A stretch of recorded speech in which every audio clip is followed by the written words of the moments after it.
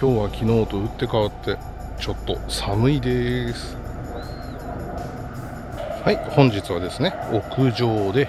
こちらゼンハイザーの MK200 と、えっと、ZV-10 ですね。であの昨日紹介しましたワイドコンバージョンレンズですね。こちらを装着してミニ三脚で屋上で収録しようと思います。はい、えーと、自撮りでこのように撮影しますと、えーと、ホライゾンバランスが有効になりましてとっても気軽に自分に向ければ、まあ、ちょっとぐらいこう角度が曲がってもですね今少しこう曲げてるんですけど角度が曲がってもですねあの自分をこう平らに水平に映してくれるのがとっても便利になりました。はい皆様こんにちは。いつもご視聴いただきありがとうございます。今日はですね昨日と違ってちょっと屋上が寒いのでこう少し丸まって、えー、と本日収録してるんですけど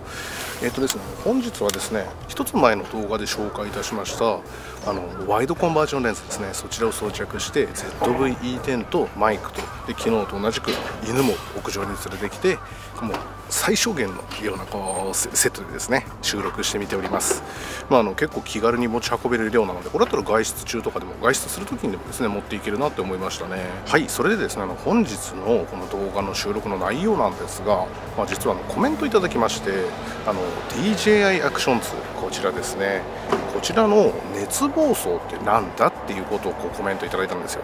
いやコメントいただき本当にありがとうございます。いつも見ていただいてとても嬉しいです。あのそちらの熱暴走ですね。熱停止と熱暴走と私こう2種類あるなっていうふうに思っていてまあ私がすごく重く見てるのは熱暴走の方なんですよ。で熱停止の方であれば別に動画ってその直前まで残ってるしあんまり問題ないなっていうのがあのありましてそんなに私気にしてなかったんですよ。ただその今回熱暴走と表現しているものに関関してはまあちょっと問題があってこれを明らかにこのコンピューターがあの DJ アクション2のコンピューターがですね温度によって暴走しているなっていうふうに思ってます。でちなみに今後ろで犬が暴走してます。というところで、えっと、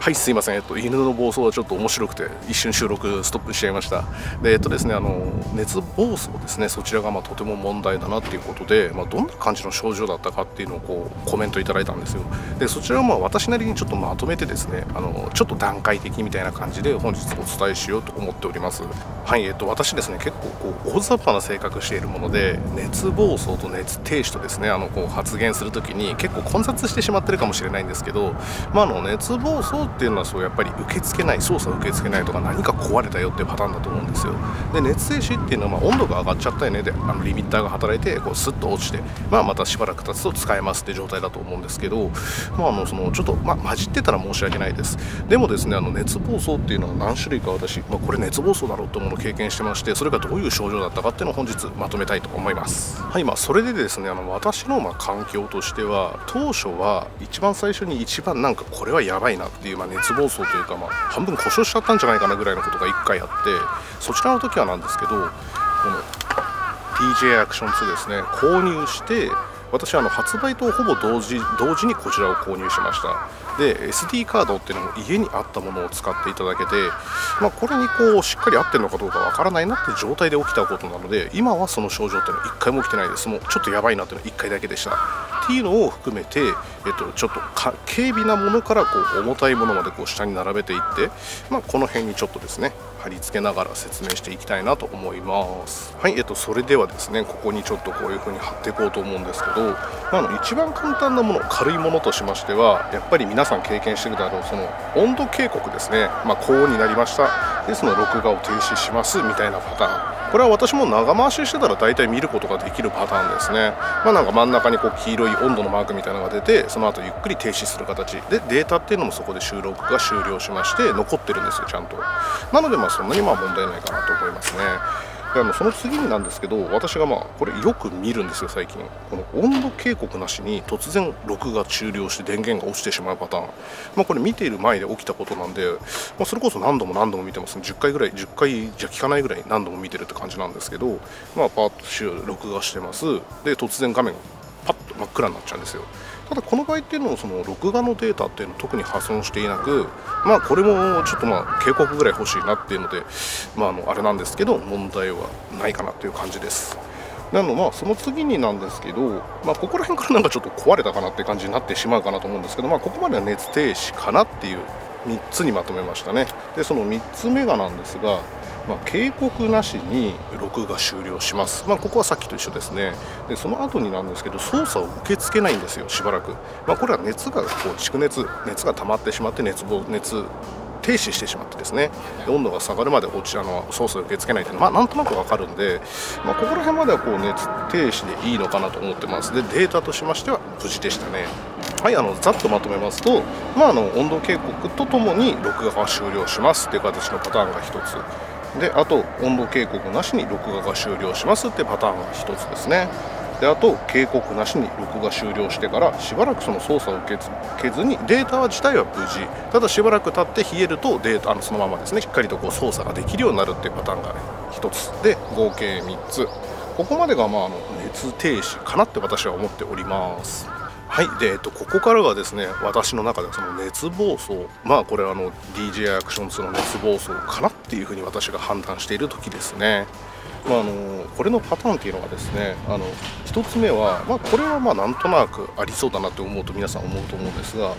熱停止後ですね、まあ、どのパターンでもよしなんですよ。熱停止をした後になんですけど録画していた最終のデータが破損してしまって読み込めないパターンっていうのが今まで何度かあったんですよ。まあその少しの間が読み込めないとかだったらいいんですけど、まあ、読み込めない画像のファイルが作成されてしまって、まあ、それが使えないと。まあ、あの4ギガぐらい4分、まあ、5分ぐらいですね5分ぐらいの動画ごとにこう DJ アクションでこうデータがこういう風に作られていくんですがそれの最後だけ読み込めないっていうパターンを何度か経験してます。まあ、これがその1つのですね熱暴走じゃないかなって私が思うところですね。はい、えっと、2つ目としてですねこれはそんなに経験がないんですが、まあ、あの熱停止をしますねで熱停止をするしないっていうところあたりでもうなんとなくその挙動がまずおかしくなるんですよ。ディスプレイのこの操作が変だとか操作していないのにバーって動いたりとかなんかパソコンのこう暴走関係に似てるなみたいなスマートフォンとかでもたまにありますよね。スワイプしたりするとバーッと画面が流れっぱなしになって止まらないとか押した後にもしばらくレスポンス悪くなんかまとめて後で動くみたいなそういう感じになってしまいました。でこれもまあ2度3度ありましてでそのままその録画していたはずのデータっていうのは最後のデータだけなくなっていたってパターンが多いですね、まあ、もちろんたまにそのまましっかりと収録が終了してあ、まあ、あの温度警告みたいな感じでですね最の熱停止みたいにデータは無事だったってパターンはあるんですがこのパターンっていうのでダメになったことが何度かあります。はい、えっと、まとめると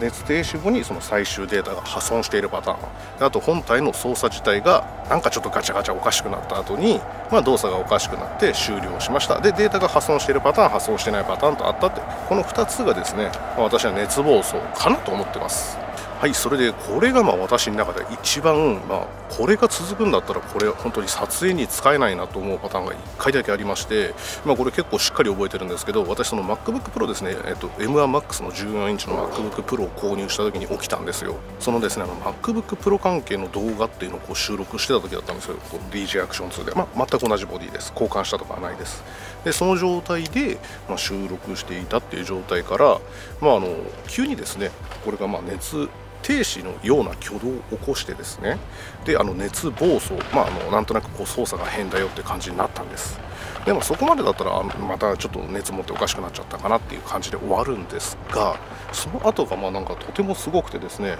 なんかそのまま止まらないんですよ。で操作も全部受け付けないんですよ。この録画終了ボタンとか電源のオンオフとか。長押しして電源が消えたと思うんですけどスワイプしようが何しようが画面っていうのは動かせず録画は止められず。で強制的に電源を落としました。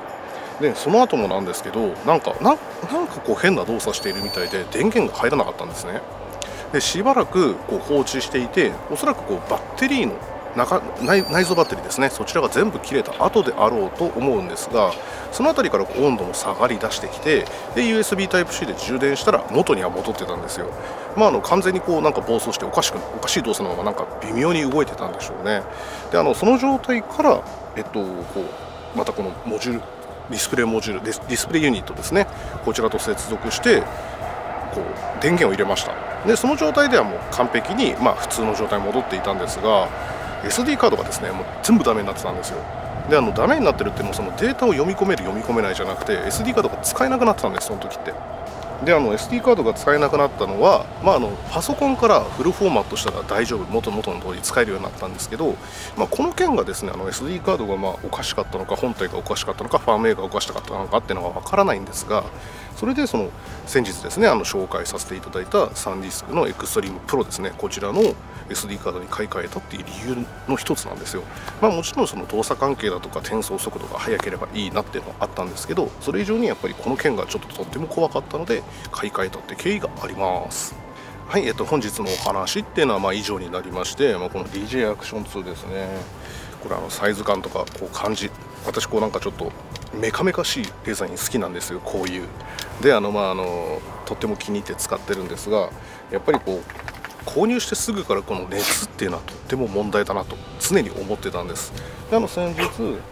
このスモールリーグさんのですねあの掲示が届きましてここからですねその室内でも、ま 4K60 フレーム 60p で室内で30分ぐらいの収録ができる。でも外でこう使ってる分には今ぐらいの気温だと本体がもうあんまり熱くもならないぐらいしっかり放,、放熱してくれるんですよ。っていうのがあって、まあ、しっかり実用的に使えるようになったなっていうのが最近の感想ですね。であのそれが夏場になるとどうなのかっていうのは、まあ、今からちょっと不安でもあるんですけど風が吹いている限り結構しっかりと冷却されるんじゃないかなっていうふうに思ってます。こうヒートシンクみたいな構造がこのスモールリグのですねカメラにあのケージですね。カメラじゃなくて。にしっかりとこう切られてたりとかするので、まあ、こういうところで効率よく熱は逃がしてくれるんじゃないかなっていうふうに推測してます。でまあそれが夏になって実際に使ってみないとまだ何とも言えないんでそれもこの引き続きこちらのチャンネルでですねインプレッションしていきたいと思いますのでぜひぜひまた応援してください。はいえっと本日はですねあの一つ前の動画と同じく屋上にペットのワンちゃんを連れて。でえっと、本当にこ先昨日あの1個前の動画ですね α7-4 でも結構しっかりめに収録したんですけど今回はゼンハイザーの MKE200 とあと ZVE10 ですね。それと小型軽量な三脚だけで、えっと、屋上で収録してみてます。で、まあ、さらにこのワイコンを装着したことによってとってもこう手を伸ばすとレンズ触れるぐらいの距離感のところで収録してるんですけど背景もこうしっかりと広く収録できてますね、まあ、これを試したかったっていうのも一つあります。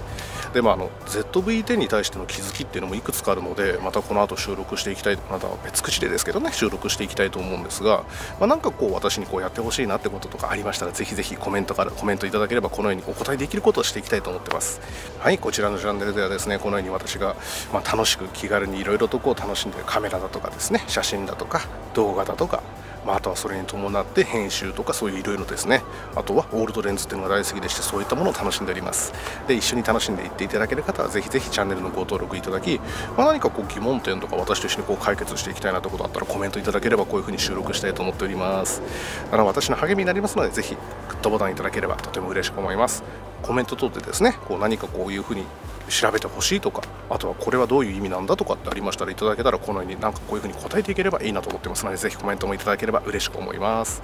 はいそれではまた別のいろいろなことを収録していきたいと思いますので引き続きよろしくお願いいたします。それでは失礼いたします。